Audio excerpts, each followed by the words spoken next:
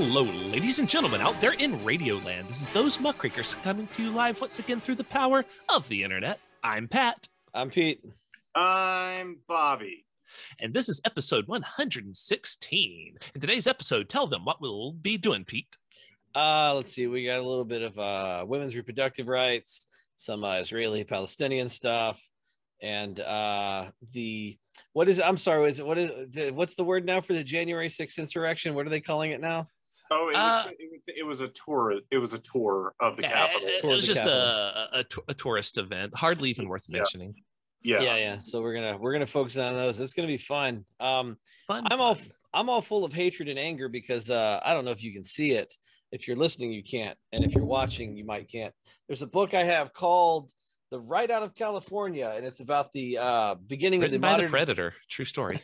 It's a it's about the uh, beginning of the conservative movement that started in the 30s. Turns out the conservative movement was always terrible. Both parties um, embraced progressivism in like the early 1900s, but the the uh, modern progressive movement abandoned progressivism when the uh, rich people were fighting unionization uh, in in in uh, farmers, and then when when we finally got around to Nixon, they realized that they could completely abandon progressivism and they could gain a whole new electorate by uh, catching the Democrats, the Dixiecrats that left the Democratic The, Party. the Southern strategy. Yeah, that basically a bunch of people left the uh, Democratic Party because they were mad about integration. So they were Mhm. like, "Boom, we got it." soon Yeah, as, uh, also- as soon as LBJ also- signed. Good. Oh, sorry. Yeah, there's also a um a, a foreign policy component to it, basically leading to sort of America's soft power imperialism turning into like you know like like Teddy Roosevelt, and then we get Woodrow Wilson oh my god! later who is just absolutely it's uh if, if you've never seen it check out the cynical historians two part youtube series on wilson He was a crazy person. he was yeah and he kind of died for a minute there while president and then his wife just kind of ran the country They actually talked him out of like after he had Like- a massive stroke. They were mm-hmm. like Wilson. They they talked him into retiring, and his wife said, "Fuck you, he's not retiring." And then he was like, "I guess I got to do what she Yeah. says." yeah exactly no they sent the senate sent someone to check on him and they basically Weekend at Bernie's him in the bed like Yeah. going oh no look the president's fine he's just resting We'll he had a do- stroke you guys we'll- he's fine now We'll do a whole episode. We'll do a whole episode on fine. Wilson one day. Um, by the way, my new favorite point. president, uh, post Wilson, my new favorite president, by the way, is Warren G. Harding. oh for, Um, for what Warren G. Harding, when they elected him, He's basically a self-aware Trump, he goes, "There's except this less evil where, and cruel. where Warren G. Harding goes, guys, I'm from a small town. Don't elect me. I'm not good for this." And then He- they talk to his He's wife. aware that he can't do it. He can't do the job at all. He knows it. They still elect him anyway. they talk to his Everyone wife. knows it. Trump. his wife quoted she goes uh listen if you elect my husband the only word that's going to be remembered from his administration is tragedy his own wife to the press and God then of course he was a terrible president and he told you he was going to be a bad president um but anyway uh so which which one do we want to get into first we want to talk about women's reproductive rights the insurrection or the Oh, well, uh, I, I did because you just talked about a book you were reading. I was going to say a companion to that that you might want to check out. Maybe the listeners and viewers want to check out as well on the foreign policy component of like that same era of like the parties starting to flip and basically like the, the fomentation of the Republican Party is uh, is a book. Oh God, I forget who it's by, but it's called Tomorrow the World, and it's basically about how America through soft power and then later, you know, concrete superpower nation building bullshit. Uh, you know how you know here's here's how we got here. Let's take a look at what we got. Is the is the back half of the book. Well, up know, and up and uh, I feel like really up and up until the like the 1930s, I feel like the parties were a little bit more fluid. But then after after the 30s and and the Great Depression, um, and especially leading into like Nixon and stuff and like LBJ, I- Well, well, getting into getting into like Nixon and LBJ, like Kennedy was kind of the genesis of it. I wouldn't call Kennedy a neoliberal; that wasn't really a thing yet. But the Chicago school and sort of like what we first today would call president.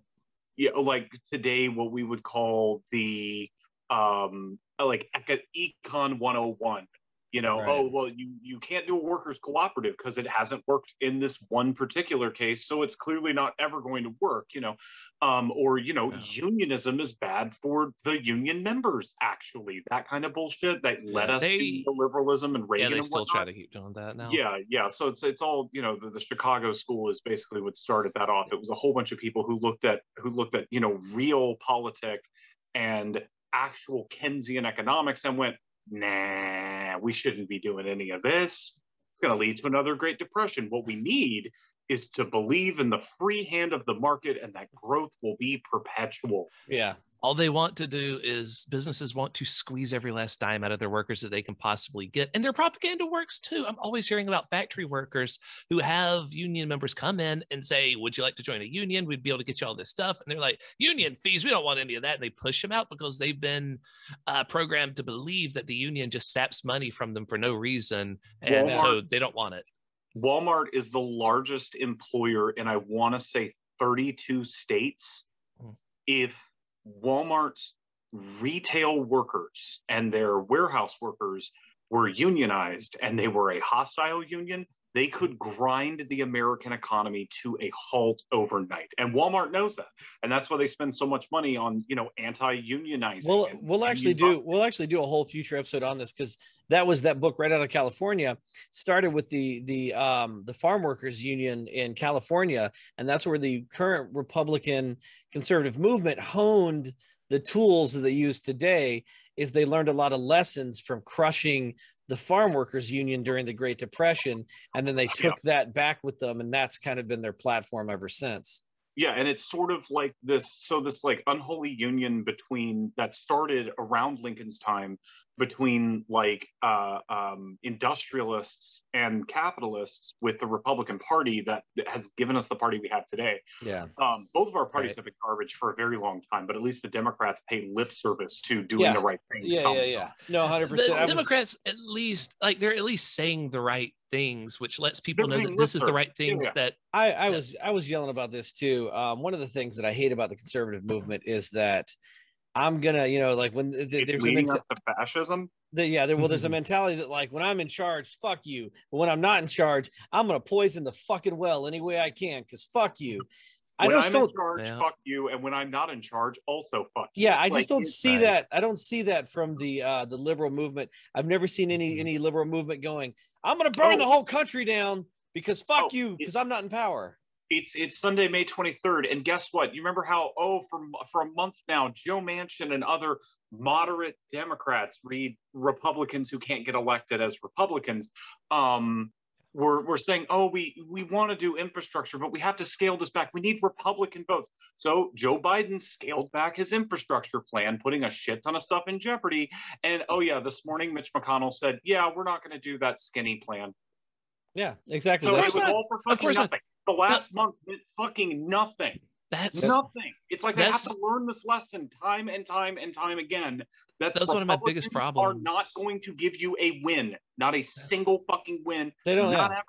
You Just- can't just work with them. the They'll always say we're going to work with thing. us, but they don't. No. That was the big thing that uh, the big problem I had with Obama was that he wasted his first two years in office trying to negotiate with Republicans. That's like trying to negotiate with terrorists. You're never going to get what you want. You're never going to be able to appease them enough, and that's why Obamacare ended up being the shit show that it is. Instead Yeah. of it Yeah. being free for everyone, it still costs money Speaking- because he was trying to meet the Republicans halfway. So instead, the Republicans pretended like Yeah. this was never our idea. This was never our bill. This is always Obama's idea. It started as a Republican idea for health care, but because the Democrats think it's a good idea, now they have to pretend like they think it's a bad idea. the Republicans are loosey with the football, and this is what drives me crazy about the current liberal movement. We They're are Charlie Charlie, Brown. We are Charlie Brown every fucking time, and I'm like, stop! They're gonna keep moving the football. You're never gonna get kick the kick the football. Uh, speaking of that, that's a really never good, work with them. Never work with them. Crush them. Crush the filibuster. Don't let McConnell have anything. Ignore the stupid turtle as he putters around. Well, that's that's a, actually a really good um uh segue to get into women's women's women's reproductive Women. rights. Women, women's, you know, women's uh, reproductive rights today. There's a uh, court And case. who better to talk about women than we men? then yeah, then we men. It's in the title. We men talk about women. We men. We men. Um, Good lord. listen, I know a lot of women in my life. I like a lot of women in my life. I have a lot of respect. for a lot My mother is a woman. My, my mother, my wife is a woman. Um, so there's a Supreme Court case going forward, uh, which is what the conservatives have been angling for this whole time. They've been setting up, they've been baiting, they've been setting up these little laws. They want to get a court case to go to the Supreme Court. They've been working on stacking the Supreme Court in their favor because they, They want to be able to say, like, we They stopped it abortion. off. Yeah. So now there's a Supreme Court case going forward um, on Monday, actually, and it will review uh, whether all state laws that ban pre viability abortions are unconstitutional. Uh, so, really, this could kind of like, I guess, reverse Roe versus Wade, which is interesting because Roe versus Wade doesn't matter anymore. People are still teaching Roe versus Wade. There's actually, I actually just taught this in high school the other day. Um, there's a court case called Planned Parenthood versus Casey, which said that states can pass certain abortion, not full out bans, but they can pass things on abortion as long as it's not an undue burden on women seeking abortions. Uh, what is an undue burden, you may ask? Who fucking knows? Because they didn't define that. any honestly i'd say any restrictions whatsoever Uh, well, they wanted to leave it open to the states. So states are doing all manner of fuckery. Um, and so now they have this court case, which, as best I can understand, and Bobby, feel free to jump in and correct me at any point.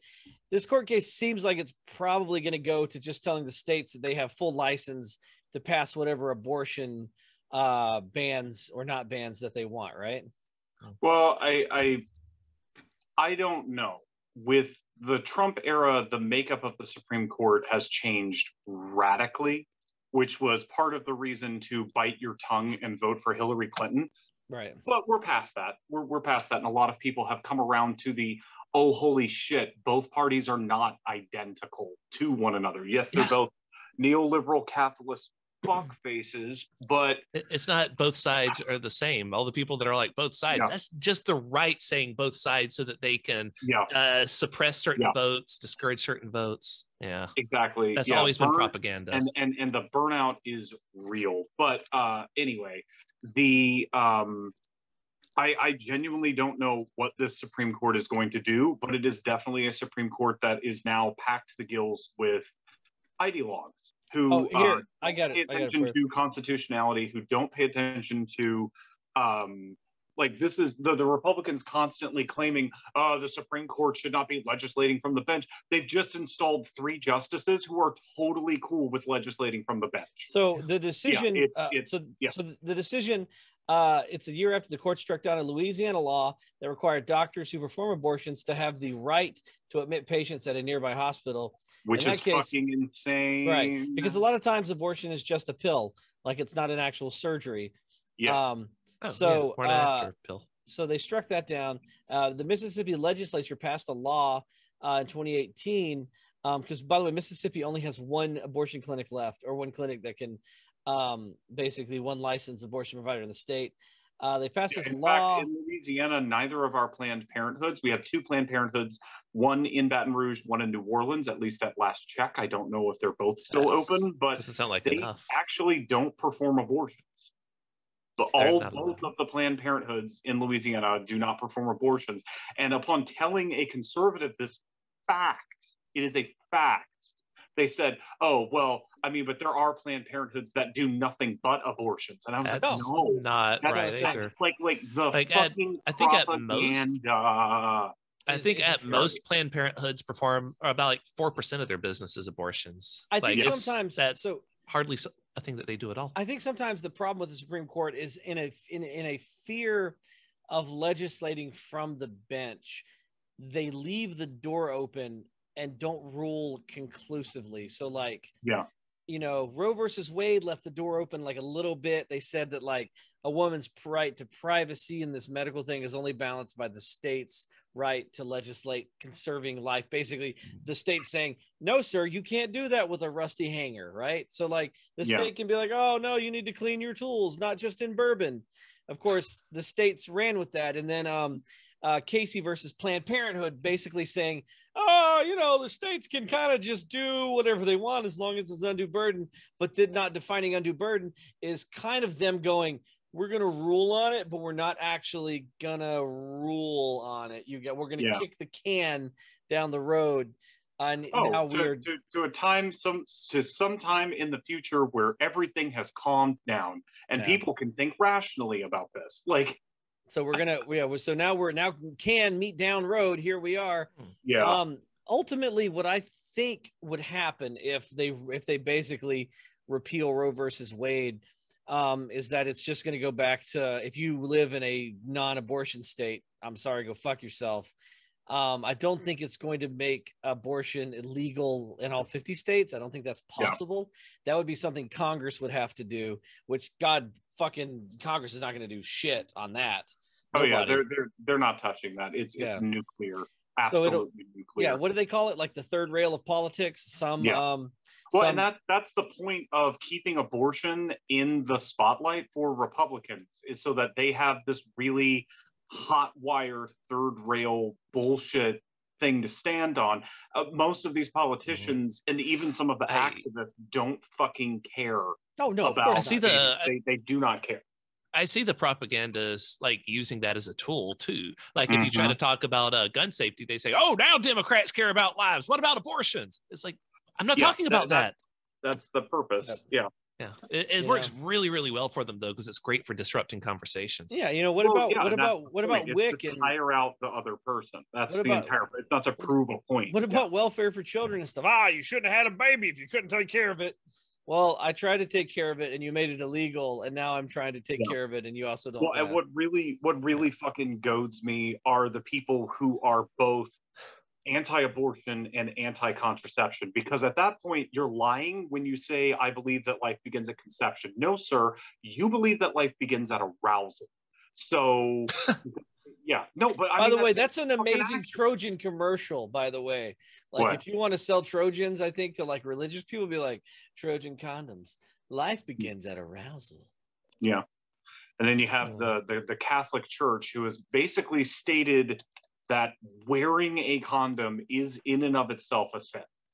Not not having sex with the condom, but it, it just is basically wearing one is a sin. Listen, It- listen, man. As long as you fucking altar boy without using protection, you're fine. Oh yeah, no, the Catholic Church will hide you to Yeah. keep you from authorities. Unless Yeah, you wore a but- condom while you were molesting that child, and then That is In which case, you will incite God's wrath. yeah. exactly. certain. Yeah. Do you ever think that if uh um because I don't know what I am. I'm definitely I'm not an atheist, but I'm definitely I don't like organized religion, but there is a God. Do you ever think he just looks down and goes, What the fuck? Like constantly? I think that he would be busy taking care of his favorite children, the aliens that are actually smart enough to travel from their planets to our planet and fuck with our um, our jet fighters by being little fuzzy dots in the distance. Like yeah, there's Yeah. just another civilization that's like your older brother that does well, and he's just like, I'm just Why gonna can't you be like Jimmy over there? Yeah. I'm just gonna focus on Planet Jimmy. They're doing great. They got contraception figured out. They're not killing each other over oil. You know what? I'm gonna forget that I have a second civilization that's all fucked up. You know, you killed your other brother, my other son. Y'all murdered him. So Yeah. That's actually one thing I've kind of wondered. Does Palestine have oil? Is that what this is about? Like what's happening? So let's, Um, yeah, let's go into? Palace, the Israel Palestine thing. Uh, yeah, So it's it's you know uh, uh, uh, a bunch of white American dudes. We're really going to solve this one. I I Mm-hmm. I wanted to talk about so uh, not necessarily the conflict, but just sort of some some framing around it that I think a, a lot of people need to fucking understand is that are the Palestinians from that area? No. Are the Jews currently living in Pal- in in Judeo-Palestine in the country of Israel? Are they also from there? No. This whole conversation of it's the ancestral homeland of the Jews. It is the ancestral homeland of Judaism. So, like just this past week, video uh, video was put out. I I, I saw it through uh, HasanAbi, uh, his uh, his great Twitch streamer, by the way. But he also has a YouTube channel where he uh, put, puts Twitch uh, clips from his Twitch streams. Uh, was talking about this. There's this video of of uh, an Arab Palestinian woman. And it's in her backyard, and she's shouting at this man, this Jewish man, and he responds to her in a Long Island accent, she's going, You cannot sit. This is my house. You are stealing my house. And he says, Well, if I don't do it, some, uh, you know, in this Long Island accent, if I don't do it, someone is. And Vice fucking found the guy and interviewed him. And he's this ultra right wing nationalist settler guy from Long Island. You're not Yeah. from the Middle East, dude. You're from fucking Long Island. It's it's Like- basic. It's and the whole the whole uh well if you criticize the actions of the idf the israeli defense force uh clearly you are anti-semitic no Yeah. motherfucker I, it, that's like saying that's like saying if i were to criticize the uh the biden administration that makes me a race traitor against white people that Yeah. doesn't make any sense So, like so the, the so the way that it's broken down for me is basically so like if you're Palestinian and you're living there, they the Palestinians have to have somebody apparently house sit when you go to the market because if not, there's a rule that Israeli settlers can come in and claim your house. It's Oh, I hadn't heard of that. Oh, That's it's one. It's one hundred percent Oh, yeah. exactly. If you think about the South during the height of Jim Crow, Hmm. just take the Palestinians. Uh, like a make- black guy leaves his house to go get groceries, and a white guy could just move in and Are be you like, te- "It's my house Are you telling me that during Jim Crow that a white man couldn't do that? Because I bet they could actually. Hundred percent, he fucking well could. it, during jim crow it was uh, that uh, we we already had segregation the Yeah. white guy would not have wanted to live in the neighborhood that the black people were in like that was that was specific what the israeli Mm-hmm. government is currently doing is straight up ethnic cleansing Yeah, they are they're they, they they're removing is- yeah everything they it can is- do. it is it is illegal under international law it has been condemned by the united nations and by multiple other and, and it's all so so there there are Israeli citizens who are like, and a lot of people here in America like to paint this as Muslims versus Jews. It's not. You know there are a ton of Palestinian Christians. There are Orthodox Jewish Palestinians. There are there are Arab Muslim Israeli citizens. I can like, tell you, it- I can tell you the exact reason why we're involved the way we are. It's because the conservatives are using it as a way to court the psycho evangelicals that think that Oh, yeah. you're you're supposed to support the Jews because uh, it's going to bring about the end of the world and the It's rapture. going to bring I about the end of the world. I yeah. swear to Christ, that's why they're doing that.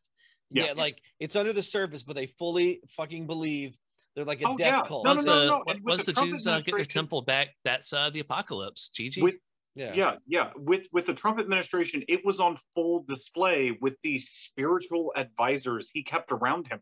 These are people that that republican presidents before had kept at an arm's length like okay yeah i'll take their votes but i'm not going to like have them in the white house and saying that uh, god spoke through them that i should be elected. But trump fully fucking embraced it why because he believed it no because he's a fucking narcissist Yeah. because he's a fucking narcissist and these people were telling him that he was essentially the second coming. Did he believe that he was? No, probably not. He probably didn't care.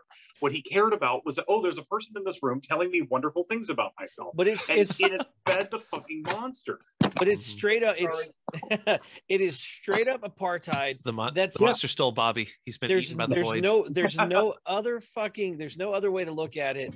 It's apartheid. It's the the group that has power wants complete power and they want to push this group of people out and they're going to destroy them any way they can. And Well, well, and here's here's also the thing is like people are like, you know, pe- people in America especially, they don't understand like this is and, and I was trying to find the article, but it was a, a, a, a deputy mayor of like a section of Tel Aviv. Like Tel Aviv is actually a fairly liberal, fairly leftist place. Um uh and it, it's reflected in their in their local governance. Um there there was a mayor, uh, a deputy mayor of a section of Tel Aviv, because Tel Aviv is like there's there's like, you know, um I guess boroughs. Basically, Tel Aviv absorbed neighboring towns and suburbs and stuff right. over the years. And um, well, one of one of their deputy mayors, who was like this Democratic Socialist guy, he was like, "Yeah, what the national government is doing to Palestine is a fucking war crime. It is fucking genocide, and it will only lead to more and more bloodshed because what we're doing is we're weaponizing our holidays and their holidays, and it is absolutely zero. Mis- there was no mistake that the Israeli is the Israeli police invading the Al Aqsa Mosque on the eve of Jerusalem Day, which is an ultra right wing nationalist uh, uh, Israeli holiday celebrating um, because they want all of Jerusalem back, and and it's it's it's um, it's uh, it, it's totally to to to drum up fear or nationalist fervor and they're doing That's, it that's with the only reason doing to do. it. the thing that makes me even madder is they're doing it with my fucking tax money. You know what I mean? Mhm. I'm I'm 100 percent like, you know what? Fucking do it with your own fucking money. And everyone's like, well, they're our only ally in the Middle East. No, not really. They're not Not- really our Not, friends. not really. I mean, Saudi Arabia is right fucking there. Hmm. Yeah. Like the Israelis don't really give a shit. Stop giving money to the fucking IDF and see how fucking much they're your friend. You know Yeah. what I mean? Like, It'd be like if you were on the bus do I, and I got to give a kid my lunch and money every day. back, and we're back to foreign policy. If I fucking if I got to give a kid on the bus my lunch money every day, is he really my friend? You know what I mean? Mhm. You see how fucking Yeah. quickly he likes me when I stop giving my lunch money. Yeah, fucking stop giving them money to fucking murder people. Like, the, the- stop entertaining any idea of a fucking two-state solution. Like, at least in my opinion, Bobby. While I don't know if you guys are two-state solutions or not, but I'm like, it should be fucking one state. Everybody should just be fucking one thing. You all fucking live here, treat everybody equally. Stop trying to create a whole segmented society. Yeah, uh, like the whole two-state solution reminds me of um, kind of reminds me of what uh, Malcolm X was thinking near. Uh, near Oh the yeah, the, the, the like the ethno states. right, and Yeah. like ah, as awesome as Malcolm X was, like I didn't really think that that was going to work out too well because it's what the South tried to do too, like push the black people out and just be like separate but Well, equal, but right up against each other. What's interesting And is Malcolm X actually rough. changed his mind after visiting Mecca of all places. Hmm. Um, once he saw Oh, that, yeah, so he saw the- that that shit doesn't work. yeah, he saw that once the rest of the world didn't give a shit so much about colorism as the way the United States did, he was like, shit, maybe that's not the way. yeah. So just merge it at this point. Like it sucks for the Palestinians that the Jews were like uh for or other people forced them to accept the Jews like right next door. So now it sucks they have to merge in with them, but that I just don't see it. I don't do. ever see a two-state solution working. Because and it can't work because no one's ever going to agree where the border should be. Exactly. They're keep going to keep pushing it Yeah, back did and we go forth. back to the 19 what was it 1950 40. I thought it was 1949. We need to Well, make there- there's a series of different borders like What- yeah yeah what we need to do is we need to bomb a neighborhood in britain every time somewhere in palestine or israel is bombed so like israel the idf fuck britain bomb a neighborhood in texas i just want the people responsible which is great britain the uk Oh, yeah. I, I Yeah, believe yeah, you said they're doing it with your tax money, so it might be like Listen, sections of yeah. your kitchen get blown up every all i'm trying to say it's my tax money. I'd much rather my tax money go to bombing a neighborhood in britain um blow up the I fucking know, it's it's it's i mean it's probably just the the the the anarchist in me but man like seriously fuck borders. Yeah Mhm. no, like we've always said on this it- podcast borders are for cowards Yeah. borders are violence Yeah. borders are violence yeah Why the fuck can't I just go where I want to go? We got to know who's in there. Why do you need to know my fucking business, man? Y'all don't know who's in there now. Like, uh, do, you, do you think you know every person that lives in the U.S., Mexico, and Canada right now? Of course not. I don't But I mean, even it's- know it's- but I everyone mean, who it's lives in my building. but Yeah. i mean it's also like like borders as we have them today are an extremely recent development in Yeah. human society like you know it, it it's sort of like uh, and i it's one of the things that i do like about the european union is that is the schengen area where they just kind of take a meh approach to borders. And even countries that aren't in the european union like switzerland and i believe norway they're in the schengen area. You know why why not have something like that? But then um, the very moment that a Palestinian kid throws a rock at a Mercedes with a yellow license plate, uh, which, by the way, is is a sign that the uh, that that the Israelis that the Israeli state and the occupied Palestinian lands are an apartheid state, is that Israelis get yellow license plates and Yeah. can go anywhere that they want. Palestinians get green license plates which means they're prohibited from going pretty much anywhere. Some of them So- are trapped in their own fucking neighborhoods. If you take Like- a Wow. cab, if you take a yeah, cab over Gaza there, is an open air prison, and don't let anybody Yeah. tell you any fucking. If you take a cab, Gaza is I've- open air prison. I've been reading about this. If you take a cab, a Palestinian cab, it takes you to a certain point, and then the cab has to be like, "Sorry, we can't go any further, or they'll fucking kill me." Uh, Now you got to A A stop, and then Palestinian kid will throw a rock at a car with a with a yellow license plate, and then the IDF, of course, has to murder 500 Palestinians from the air. I like people. That's, that's how this I like down. I like It's- people's arguments too. They're like, "How about Hamas stop launching missiles from hospitals?" I'm like, "Does that mean you should blow up the hospital?" Yeah, I've I've never heard anybody in a hostage situation be like, "Well, he took hostages, so we killed him and all the hostages." Yeah, yeah. You know what I mean? No, no, no. It's exactly like it's exactly like if your kid threw a brick off an overpass, and then I decided that even though it didn't hurt me, I decided I'm going to go to your house. I'm going to blow up your fucking house, murder you and your entire family, kill most of your neighbors, and then burn the rest of the neighborhood down. Yeah. Because your kid shouldn't have thrown a brick off that overpass. And then blow up the salt earth, so nothing will ever grow again. response. and then blow up CNN headquarters because they also blew up the Associated Press building. Yeah, why why the fuck not? Why the Yeah, fuck not? why Like, not? Why- seriously, yeah. working with journalists, I, I work with journalists every day. Seeing the AP Al Jazeera building get literally demoed on site by one missile was fucking chilling. And that was the point of it.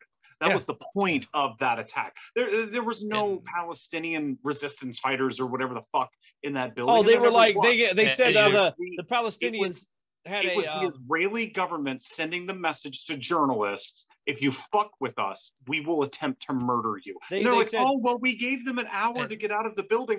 Then you also gave any potential insurgents an hour to get out of the building. yeah they they Why go, blow up the building? They it's said to Hamas- send a message to journalists. Hamas and in Trump's an, ideal world, that would happen to uh, any news organization that's not 100% loyal to him because he sees things like that one journalist getting chopped up and he's cool with it. He doesn't care. Yeah. they uh they Oh said, yeah, no, no, no, no, no. Well, I don't hold know what we can they do. said that there was Actual- there, were, there was a, there was a Hamas a Hamas intelligence office in the building. So No, well, it's it, it, but it's an actual fucking Donald Trump quote where he said, you know, the lying press back there. Oh, excuse me, that was that was Hitler's line. The lying press, the fake news media, uh, which is which is totally not a dog whistle to neo Nazis.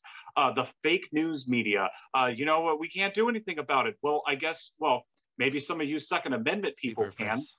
Are you, You know, fucking kidding me? I think Are you fucking goes, kidding me? Are you telling your supporters to shoot journalists you disagree with? I Yeah, think like his, his 100% he literally sold shirts at his rally that said, you know, uh, journalist tree rope, uh, some assembly required. I think Uh, this they- 100 percent and they had to back to, keep- the At his, I'm sorry, in the 2015 rallies especially, they would have cages in the uh the back for the journalists to hide in because all the people in the audience would be around it, like threatening them, hitting the bars. Oh like yeah. they were literally like locked up for their protection because Trump was telling everyone they're the they're the bad guys, folks. They're the ones you should hate. They're the ones you should kill. and I, I think this Yep, is this is why always they hate journalists. Fascists hate yeah, journalists. this is why they blew up the AP building, the IDF, because I think it goes 100% back to we just had four years of a president going, fuck journalists. I'm going to have police go out to protest and specifically target journalists because fuck them. And I think that like the IDF and Netanyahu have been like, oh man, we don't have to put up with these journalists anymore reporting on us. Fuck them. And that's where we're at right now. It's open season on fucking journalists. Yep. Wanda, you want to tell us about the January 6th uh, tour of the Capitol? That's a uh, an interesting segue. So speaking of Trump's ideal world, um, his failed uh, insurrection against the United States, his failed attempt to to steal the election on January 6th when Biden was being you know declared the official president. And at that point, it was purely ceremonial. Like he was already going to be Which it's, president. it's weird that they were like, if we fuck with the vote count, they won't be able to like. They really believe in this magical idea that like, like if I eat the contract, the contract's no longer valid. Right. You know what I mean? Like if I break into the Capitol where they're certifying votes for Biden, There were- and there, and there and I- were so many people. There were so many people on inauguration day who were like amazed that it was happening. Yeah. Like uh, conservative TikTok went fucking nuts that day, man. That Like, was wonderful to read. Actually, it was like, really really funny. It was fucking wild. Like people legitimately thought like Trump was going to swoop in in a Black Hawk helicopter, gun down the entire Biden family, They- in, including thought it was Hunter gonna cut- Biden. But Yeah. like you know, um, They thought it was going to cut to black and then cut back on with uh, everyone, Obama included, being escorted away in handcuffs, and then Trump would Yeah. take the stage triumphantly, ready to be sworn back in again. yeah, As yeah, yeah. his- No, no, as no. his loyal And I- I supporters ate love- the ballots because I eating do- the ballots is a symbol. It, it, it, we're all everything's. It's the same way when cops pull these people over and they're just like, according to Article fifty-two, verse four of um. Wait, why are you pulling out your According to spray? Psalms eight, this can't be happening. Like, no, no, Yeah, no. But my like- favorite, my favorite thing about the the, the Trump family, uh, like their the well, conservative media's obsession with Hunter Biden, is that motherfucker fucks. Like seriously, that man does crack. He literally does crack. He doesn't do cocaine like the other millionaire kids in his trust fund neighborhood. He does crack. That's a man of the people. All right. Yeah, also, yeah, that's- nice cock. Anyway, Yes. but like, I'm sorry. Back to the January 6th Hey, hey, listen, Marion Barry got the elected how many times? Who did what now? I said Marion Barry, the mayor of DC, that like got caught like on camera in a sting smoking crack with like a sex worker. I think got reelected like three times. Well, there was that nuts. there Sounds was right. that nutso guy who ran Toronto for a while. Remember yeah, that Robert guy? was it Robert Ford? Yeah, Ah, Ford, Rob. Ford. Yeah. Yeah. I'm sorry. Back back to this lovely, uh, lovely guided tour of the Capitol building. So we we had been knowing that the tour is coming for a long time because whenever the first time he was running, he said in his debate against Hillary, you know, I'll accept the results of the election when I win or if I win. Yeah. And so we knew that he was the type that would never accept the results. And so he spent months after the election just prattling on about how it's you know it was rigged, folks. He Which was fired these people up to believe that it was won. stolen, so they would want to steal it back. There's a problem with dictators when they win.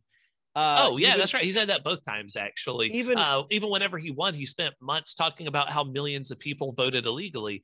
This time around, he lost, so of course he's going to do the same thing. You know, it's like if you watch these dictators when they win a rigged election, they always win like Ninety-seven percent, yeah, or 98.9% of the vote because in their minds, or the ninety-seven is just yeah, suspicious. having having 1% makes them look like a man of the people.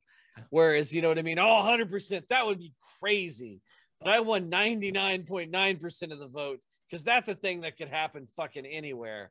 Hmm. Um, which, yeah, that, Well, that- well, May- it maybe, it was happen. Ron- It- maybe if Ronald Reagan was running, but It, it did it did happen in a town. I believe it was in either South Dakota or North Dakota. Probably South Dakota because North Dakota doesn't exist.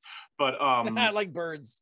yeah. Mhm. Uh, but um, no, there's there's a town as somewhere out past the Midwest, but before the Rockies. That's like they have a dog for a mayor, and he wins like ninety percent of the vote every single time. And it's Ah. you know the dog is like fourteen, and it's been mayor for like three terms or something.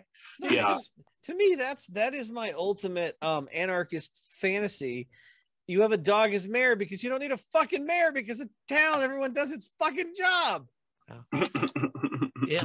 So uh anyway, January 6th, the insurrection happened. Uh, we're still hunting down the people that uh, actually breached the Capitol building. Yeah, but if you watch it, like people died, they were armed, they found pipe bombs afterwards. They were trying to lure police away so that they could actually strategically cut through. Uh, they had planned this in advance. Uh, some of the Congress people actually worked with them to give them guided tours uh, ahead of time so they would know where everyone is. They knew what they were doing. This was well planned. Yeah, a lot of them were idiots. Most of them were idiots, but they're still idiots with the plan, with the purpose. They've been brought. Together. Never underestimate the power of stupid people in large numbers, you know? Well, the thing is, you, yeah, and you, some you of the have a people, some of the people that that went into the Capitol building that day were definitely not in on the plan, but their presence was part of the plan. yeah, you Yeah. go Yeah. in with a large group. Those people are fodder. You know what I mean? Yeah. They're they Cannon- don't need to know the fodder. plan. Yeah, they're cannon fodder. What your job to do is to plant the pipe bombs to create havoc. Mm-hmm. You know what I mean? You execute the plans. They just go in and create a rabble. That's their whole Yeah. their whole point. So now that it's over, you would imagine that the same party, because because Americans died during this attack on American Oh, soil, American- the most American- American, of American soil. It's not just like uh, a foreign embassy. This is the Capitol building. So you would imagine the same party that investigated Benghazi eleven times would want to investigate this. Let's This say is once, this is the but- equivalent of an eagle sanctuary at the top of one of the buildings uh, on 9/11 being destroyed. You know what I mean? Like a bald eagle sanctuary was destroyed by terrorists trying to kill our freedom. That's how sacred these people act like this is. And so uh, there was a bill that was supposed to investigate the January 6 riots. It passed the the House with like 30 Republicans voting yes on it. So we thought, oh, okay, so maybe this actually stands a chance. It gets to the Senate, and Mitch McConnell's like, and it dies. It dies. Like they won't let it through because they don't want to investigate it because that might affect their chances in two years when the midterms come up they don't want to, people to be talking about this then. And like look this is going to if they did investigate it it's going to produce like a 400 page report that none of trump's supporters are ever going to read. It's not going to cost them any votes. Let's just do this to actually make you know america Oh, yeah, safer. if- but they they don't Yeah, want to do it. They don't want to do it as if as if Fox News would cover it at all. Do you know what Fox News not. would cover? I mean, the, the House is going to launch a commission anyway, so they're Fox Oh, News is going to cover this. But what they're going to cover is uh, they're just going to try to find dirty laundry on everybody who's on the commission. That's Mhm. all they're going to do. Like, Or- Or they'll cut away to like what types of mustard some store that Sean Hannity goes to serves. Oh, or yeah. or God forbid Biden wear a Oh, shark, yeah. a gray shark skin suit. Because I don't know if Yes. you guys remember fucking Suitgate. Obama Yeah, wore a tan suit. Tan suit. oh man, I That remember one time he huge asked too. for mustard, and Sean Hannity was like, "Oh, I'm sorry, Mr. President. Here's your fancy mustard." And he had like a whole segment on that. It was wonderful the the the dirt they had on uh Obama back then. Yeah. But, again, yeah, again, so- I, I, the conservatives have only made me love Hunter Biden even more. The man smokes crack. I do agree. Crack is the people's drug. You know what I mean? Like, if you're a fucking red blooded fucking factory working American, what do you smoke? Meth or crack? Yeah. S- No, no, no. And I love, um, and I love the whole thing of like, uh, he slept with his dead brother's wife. I'm like, uh, Donald Trump fucked a porn star and then paid her $170,000 to keep quiet about it. While Like, his third wife was pregnant. well, no, Yeah. right after she gave birth, though. Right after she gave It was birth? right Okay. after she, it was, it was about a month or two after she gave birth to Barron. Yeah. Yeah, and there so yeah. I Uh, but love Stormy they- Daniels, by the way. She was she actually factually ran. She's from Louisiana. She ran for Senate, Oh yeah. for U.S. Senate against David Vitter. She she wound up dropping out, but she she and she ran on the Republican ticket. And like her Nice. campaign was fucking gorgeous. It was amazing. I really wish she Listen, had been our I don't- senator. I, it's like I don't give a She, shit. she could she could run on the campaign that no one's been closer to Donald Trump than her, and the Republicans would vote for her in droves. Oh, like no, no, that no. should have This been her This was years. This was years. this Oh, was years like ago. This was 2006, before then. maybe 2008. I think it's yeah. a she used to try just- again. She a used to try of- again. I think there's a lot of just like, Mr. President, I wish you would come inside me. Hmm.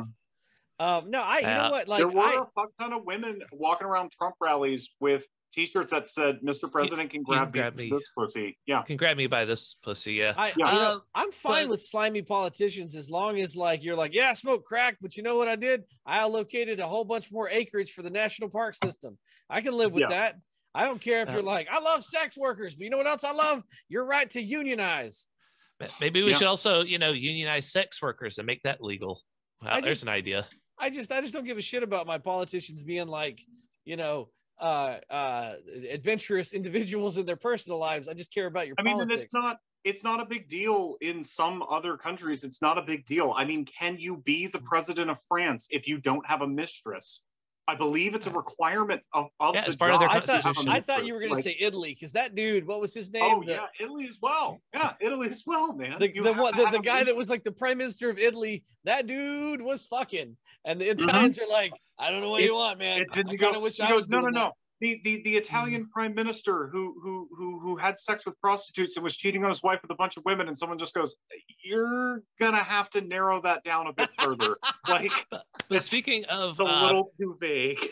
But, but speaking of criminal presidential kids and people that are going to be royally fucked, uh, Michael Cohen was actually in an interview recently talking about uh, Trump's children and how Trump's definitely going to throw them all under the Oh, bus as soon as this man. New York investigation like brings the hammer down on him. He's gonna Oh, He's throw gonna. them. He's gonna throw them under the bus the same way I throw a used masturbation sock under the bed. Don't Yeah. care about it at all. Yeah, it might be my future children. I don't and I think it was at Jim. Jimmy Kimmel made me laugh the hardest whenever he says, you know, it's going to be really sad whenever he uh, forgets to pin a crime on Tiffany.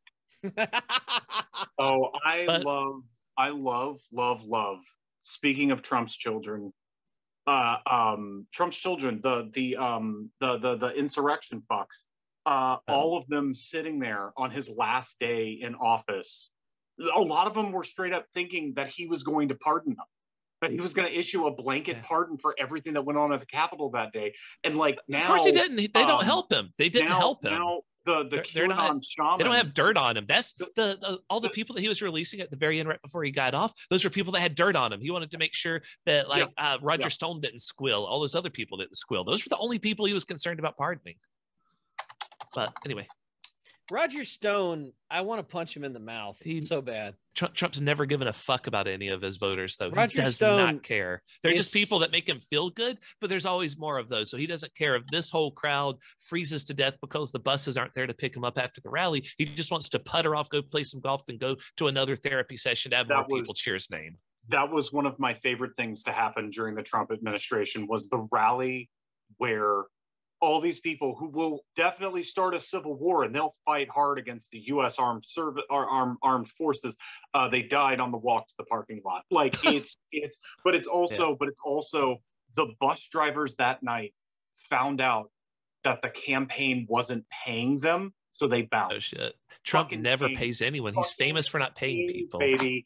Fucking kings. Give all those fucking bus drivers a medal. Like that is Yeah. fucking Yeah. awesome. Not Yeah, paying no. us? All right, peace, bro. A hundred percent. And it's just I talked to someone the other day. I was like, why voting for the conservatives or being part of the conservative voting bloc, if you're not rich, it's just again, it's fucking why. You don't get anything out of it. They don't give a fuck about you. Like nothing they do benefits you. Um It's, it's tribalism. Like they, Not uh, even they that- made that- their Yeah. it's their- tribalism, They live but in it's, it. it's but- also that in America there are no poor people. They're only temporarily disgraced millionaires. yeah. You're not a Oh, poor and. Don't forget, and Yeah, you're not a poor fuck. You're just a billionaire who's on hard. You're gonna get there. You're gonna be a billionaire one day. Yeah, yeah, yeah. Because if that fucking illusion went away and they went, God damn, I am poor and probably will be for life, they'd burn the White Yeah. House down. Say what you want about British politics, man. The British people have a very strong sense of class consciousness. Like there was uh there's uh Danny Dyer. Do you guys know who Danny Dyer is? He's this really awesome Cockney act, uh, actor. He's he's been in, he's been in a whole bunch of different stuff, but really just like plays the tough guy. Like he's sort of a he's sort of a British version of um oh god I forget the guy's name. But anyway, uh yeah, just like uh, um Dan- Danny Dyer, I fucking love him to pieces. He's fucking hilarious. But he tweeted out one time, like right after he got like TV famous, he tweeted out, uh, he's like sitting in my living room in my fucking underwear, uh, eating a Fray Bentos pie, which is basically like their version of Marie Callender's, like Right. like you know pot Yeah. pie. Uh, so, eating pot pie, right middle class now. Like, like what he thought middle class was was I'm sitting in a fully detached house that has a garage in which I have a car and I'm eating a pot pie while watching cable. Like that was that was I think, yeah, and I think that's our problem is we don't have any fucking clash consciousness anymore, man. We we're all starting to get it, man. Millennials, fucking millennials and zennials have some fucking class consciousness. It's uh fucking uh the boomers, the boomers fucking gaslit the fuck out of, Out of Gen uh, X. Gen X. They gaslit the fuck out of them. But I mean, Yeah. it, it was their formative years was Reaganomics. I can't like fucking blame them for this. They got fucking brainwashed. yeah, like- yeah, yeah. Um, Yeah. yeah fucking it's just I, I I- you know i was i was in a um a work thing the other day that was the it was a it was a um i don't know what to describe it but basically it was a thing where we were discussing like um you know the effects of like race and class and stuff on like teachers and students and whatnot and we were talking about something i was like yeah because like the american class system is brilliant in its insidiousness is that we're as stratified as india we just have everyone convinced that you don't have to stay there that it doesn't Yeah. matter how shitty your life is man you just fucking play your cards right or whatever work hard you'll be a you'll be a fucking billionaire flying trump Yeah. airlines eating fucking trump steaks it's only a matter of time baby not oh you'll be the lowest caste of society as will your kids and your children's children and that's all they'll ever children's yeah and that's all they'll ever be Yeah, and Like- also don't don't don't forget that like in the Americans don't have class consciousness statement, white Americans do not have class consciousness.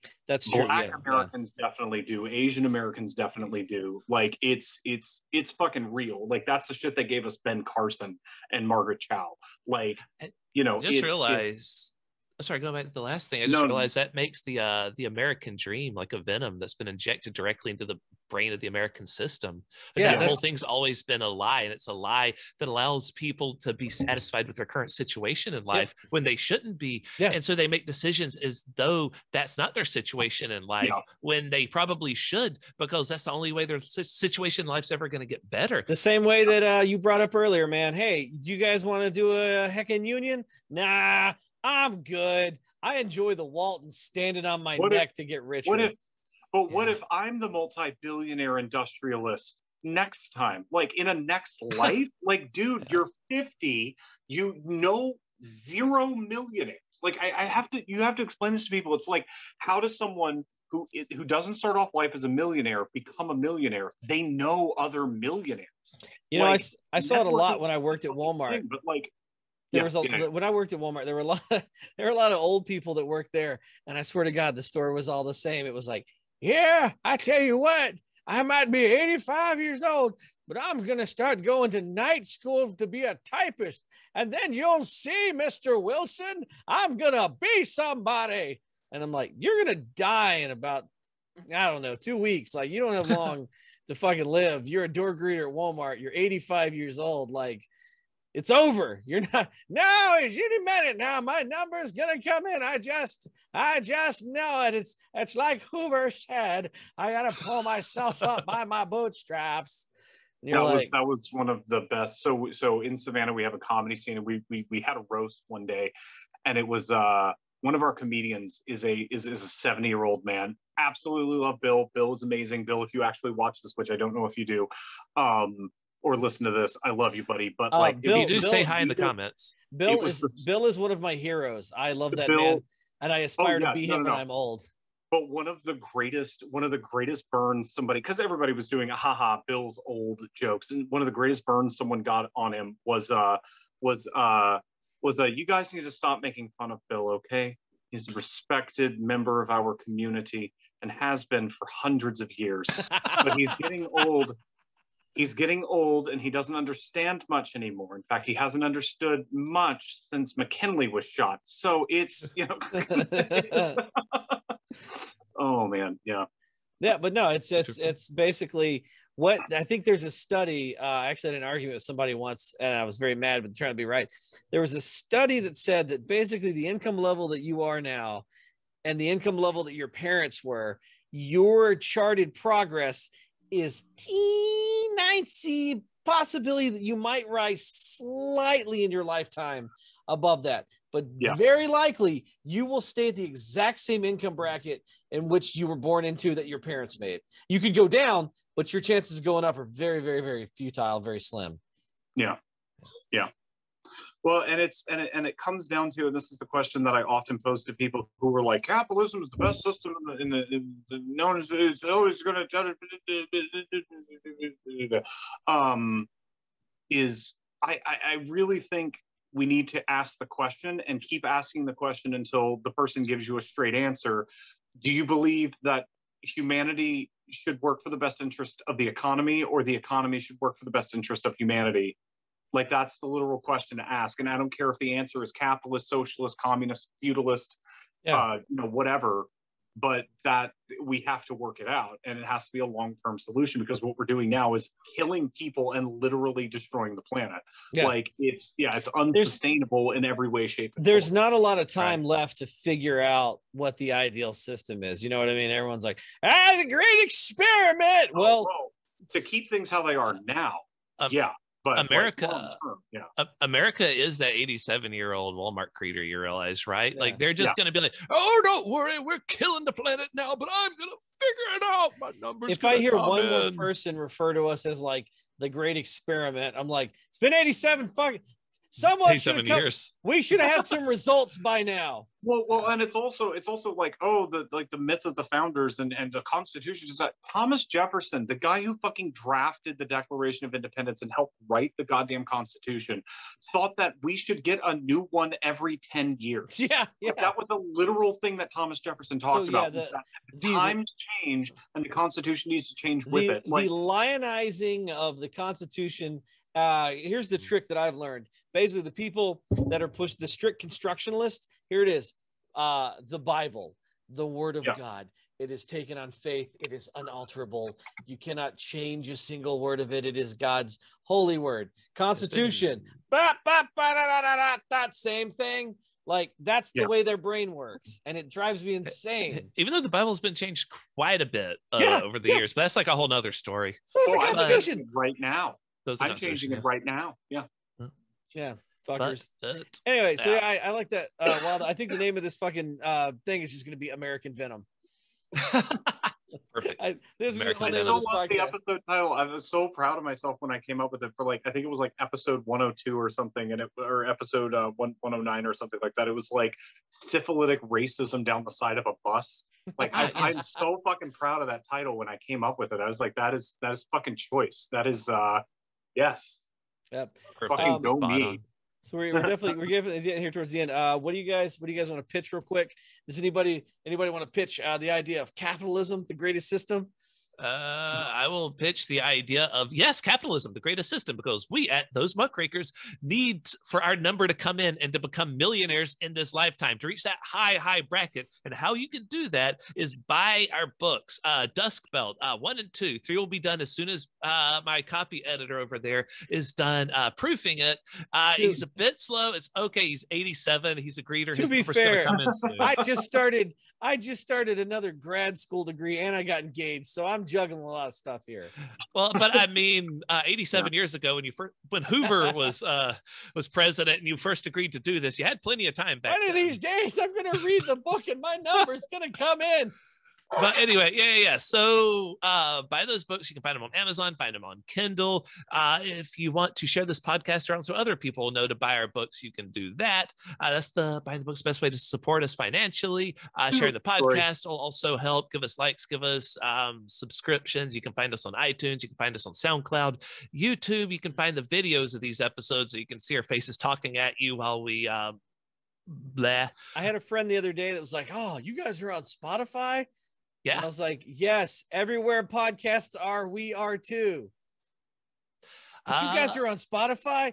Yes, anybody can be on Spotify. You can also find us on Twitter at those muckrakers and email us at those muckrakers at gmail.com, where you can send us letters to uh, read here on the air, and then we'll tell you what Wesley would think of that letter. Who's Wesley? will. Ask us that too. Bobby, you got anything you want to pitch? Bobby? Uh, still, still uh, plugging away on my YouTube channel, Captain Bobbers Plays, C A P T B O B B E R S space P L A Y S. Uh, we're still just playing away with uh, it, well, it's a let's play right now of City Skylines, uh, the city of Metroburg and its many little suburbs and industrial towns. Uh, trying to get better at playing the game, and I just like you know I, do no commentary on it because I don't have a microphone, so it's just uh, and I don't edit it. It's just like uh, twenty to thirty. I think I have one hour long episode uh, where I do a lot of stuff. Uh, but yeah, we're probably about to put in a subway system. We've got light rail and trams right now, and a couple of buses, and Nice. it just just built an airport. It's looking great. It's going well. My life is going well. Playing video games on the internet. Uh, yeah, for I think Hell I yeah. have a total of four regular viewers.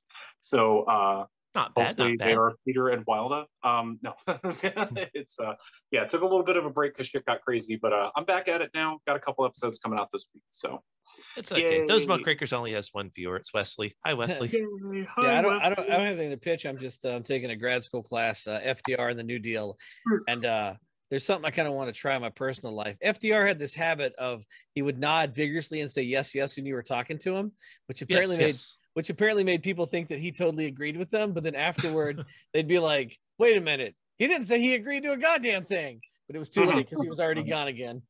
Mhm. So I'm going to try that this week in my own personal life. Uh, one thing that Obama used to do is at the end of every day, he would sit down and eat uh, like nine walnuts while reading a few pages from some book. And uh, Penn decided to copy that for a bit just for funsies. I don't know. Fun fact, presidential fact. Sweet. All right, guys. Uh, catch us Oh, next week. can we do more fun presidential facts though? Oh yeah, yeah, yeah. We There's could a have we one. can end Like, it. We can, uh, we can end each the segment in the future. presidential fact is that on occasion, in order to get his way, LBJ would corner someone very menacingly and then whip his dick out and just be like, "Mine's bigger than yours. You're going to pass this legislation." Like, and he named I, it. I have he this named it image in my Jumbo. I have this image in my mind of like a Senate Republican cornered in just the blue curtains of like the Oval Office as LBJ whips out his massive dong and just goes, "Black people have to have rights." like, like, like, holy fucking shit! Yeah, He No, named that, it- that, he- that's my segment of all of the past was terrible for today. he named LBJ it. He named it. Jumbo. Fucking Jumbo. Oh, man. yeah, he named it Jumbo. He named it Jumbo.